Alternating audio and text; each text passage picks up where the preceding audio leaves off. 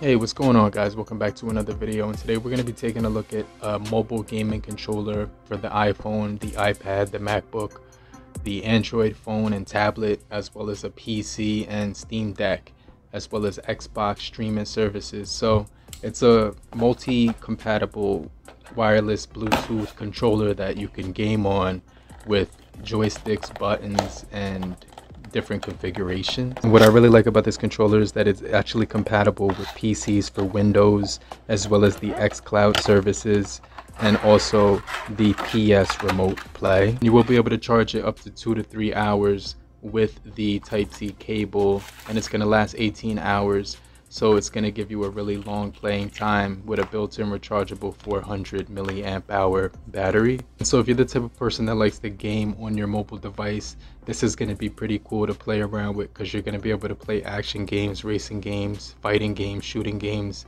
as well as sports games in addition to that as well. So I'm going to be testing out this Bluetooth controller to test out its capabilities and see what type of games it can run on. But make sure you stay locked in because it's going to have programmable buttons, a really nice low latency, a variety of games that you can download. And it comes in gray, pink, blue, green, white, even comes in a red and blue color as well as a dark black or a light gray and two different blues in addition to that too. So what's really cool about this mobile gaming controller is that it's very easy to pair because all you have to do is download the LudiMap application from the Play Store, which is provided in the user manual with the QR code scanner. And once you download the LudiMap application, you're going to see a variety of different games that you could download and pair to your mobile device directly from the application. And so I will be testing out this mobile gaming controller on my Android device and just keep in mind there are two different pairing options for Android. The direct play mode, which is really easy to pair when you long hold the home button with the X button for two seconds. And it's really easy to pair up to your device. And the second way you can actually pair it is with the Xbox controller mode by holding the home button in addition to the right button for three seconds. What's really cool about this gaming controller is that it doesn't require you to map out any of the buttons yourself because once you pair it with the Xbox controller mode, it's going to work automatically with games like Apex Legends, Genshin Impact, Call of Duty Mobile, and Battle Prime, as well as racing games like Asphalt 9 and Gear Club. And so it's retractable up to 4.9 to 6.9 inches. So once it's set into place, it's pretty much going to stay locked in and it gives you the directional pad, the left joystick, the right joystick, right button, left button, right tr trigger, left trigger, as well as two buttons on the back, which give you the ability to set them up with the Xbox controller mode. Do me a solid. If you're still here, just type in the comment section hashtags I'm still here. So I know you're still kicking it with me and rocking with me. And I just want to remind you to hit the like button so we can get this video out to more people because it helps beat the YouTube algorithm. So when it came to racing games like Asphalt 9, it made the experience really nice because it was low latency up to 10 meters and so I didn't see any latency when I was using the left joystick for steering or any of the buttons like turbo or you know drifting. And the you know user mm-hmm. experience was really straightforward and it helped me maximize my productivity when gaming. And it was really cool because I was able to actually play games without breaking a sweat whatsoever.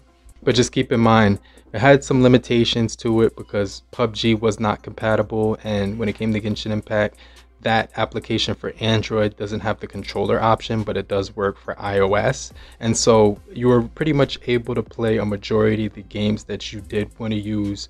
But just keep in mind with the lack of compatibility for Android on Genshin Impact because of the setting, which only gives you touch buttons, it won't give you the option to pair the controller to it, but you were able to pair a majority of the applications in the Play Store, about 90% of them that you did want to play on this mobile controller. When I was using this mobile gaming controller for games like Gear Club, the joystick was extremely responsive and touch friendly.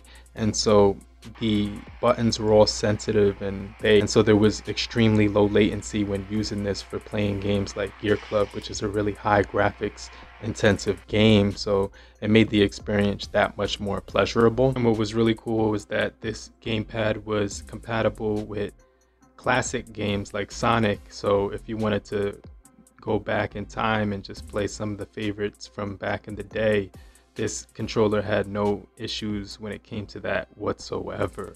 And so for $26.99, this gaming controller did give you a wide variety of compatibility with Windows, iOS, and Android with certain limitations, but the overall user experience definitely felt really nice when playing games like Fortnite or just playing some of the classics. And I definitely think that it was compatible with most of the games that you were looking to play, even Roblox and Minecraft, or some of the high end titles like Fortnite Call of Duty Mobile, Apex Legends, and Battle Prime. And so this mobile gaming controller is very compact and lightweight and extremely portable. So if you wanted to take it with you on commutes when you're going to work or maybe you're just traveling and you want to use it to kill some time, it's very easy to tuck away inside of a bag. But one of the things that I wish is that they did add a case inside of this package because if you're actually using this controller while traveling,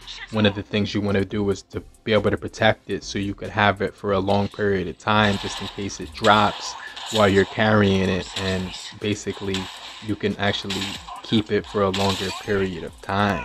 And so one thing I did notice about this gaming controller is that when it came to playing xCloud on here, it wasn't able to pair with Android devices, but it did have complete compatibility when it came to iOS devices. So I just kind of wanted to throw that out there that some of the features would be compatible with iOS and some of the features wouldn't be compatible with Android, and then vice versa. Some features were compatible with Android, but not iOS. So it wasn't fully compatible all around. Overall, the materials did feel durable and the 360 joystick felt very comfortable when using shooters and even, you know, racing games as well.